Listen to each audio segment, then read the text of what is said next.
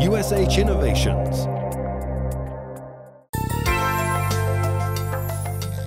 Installation of USH 8mm heating mats on walls. The required tools and fixing materials should be prepared in advance. And for most walls, the 4.5 square meter heating mat is ideal. The 4 meters 50 long mat can be neatly trimmed in two halves. Taking care not to cut or crimp the pipe, the plastic mat and copper mesh are cut in two halves and pipe fastenings removed in the area of the separation. The heating mat can now be rotated carefully through 180 degrees and laid slightly overlapping.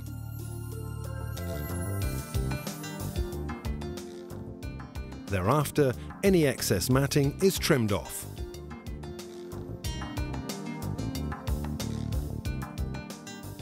The heating mat halves are held up to the wall and the top fixing points clearly marked so that the lower end of the mat is at least 15 millimeters above the floor and clear of any skirting board. After drilling, the heating mat is fixed, firstly at the top, then it is straightened flat over the wall surface and secured using USH broadhead plugs.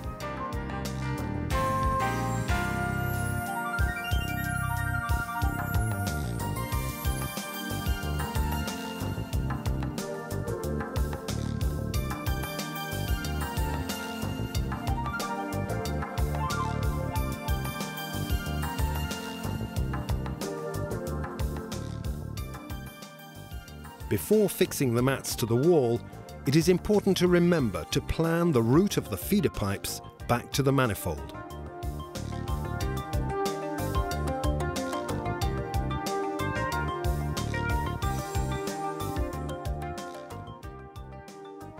Installation of USH 10mm heating mats on walls.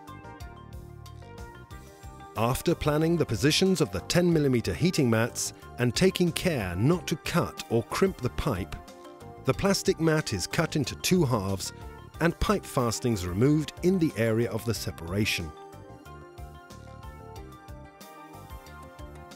The heating mat can now be carefully rotated 180 degrees and laid slightly overlapping with any excess matting trimmed off.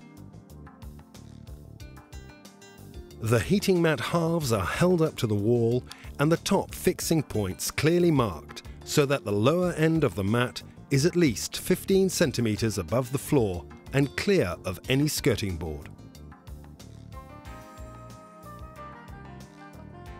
After drilling the holes, the heating mat is fixed from the top down ensuring the mats are straightened flat over the wall surface and secured using USH broadhead plugs.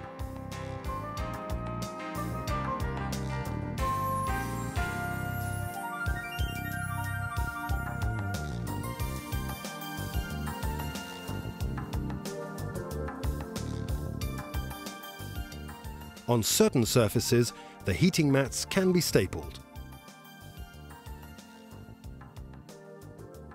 Before fixing the mats to the wall, it is important to remember to plan the route of the feeder pipes back to the manifold.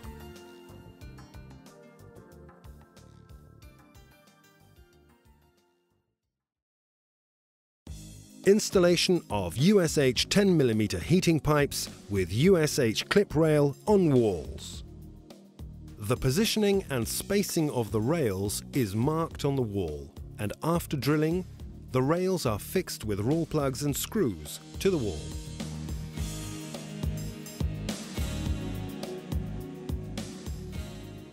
The USH clips are inserted at intervals of about 10 to 15 centimeters and turned 90 degrees to lock.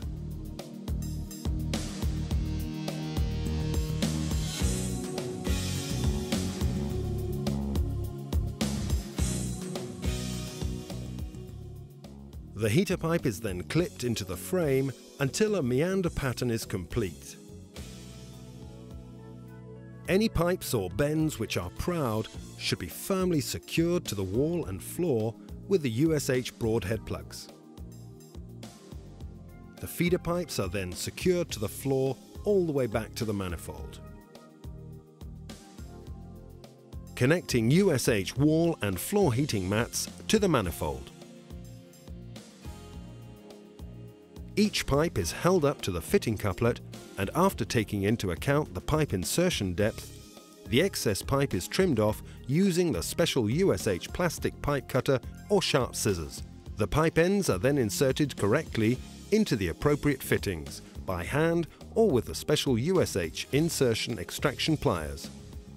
The red and blue markings at the ends of the feeder pipes clearly indicate the flow and return pipes of each heating mat.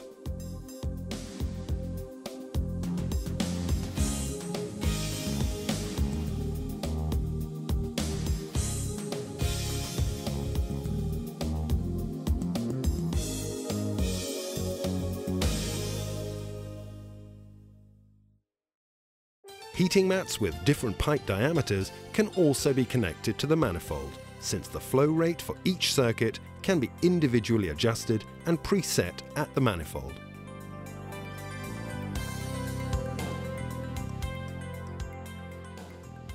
The plastering must be done by a professional according to building regulations. In the top third of the wall, matting should also cover the bare surfaces, especially when using MP75 but standard plaster can also be used.